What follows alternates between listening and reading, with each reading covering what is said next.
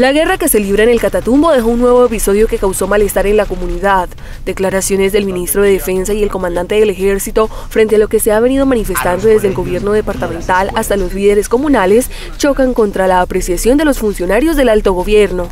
Allá hablan de centenares de muertos, pero nosotros efectivamente lo único que encontramos allá que hemos visto cadáveres han sido de ocho, de tal suerte que allá no es decir, lo que hablan los terroristas, que hay una guerra, pues no hemos podido nosotros evidenciarla. A su turno, el ministro de Defensa Luis Carlos Villegas insistió en que la normalidad en la zona se restablecería gradualmente en el sector comercial. El sector comercio al 50% esta mañana. Agregó que no entendía cómo el gobernador de Norte de Santander, William Villamizar, ordenó suspender clases si la situación no es crítica.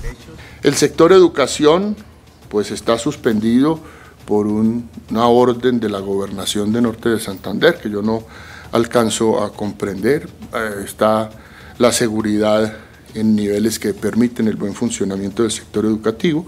Entiendo que el Ministerio de Educación y las autoridades locales en esa materia están hoy en contacto para tratar de normalizar esa disposición que se dictó localmente de interrumpir los servicios de educación.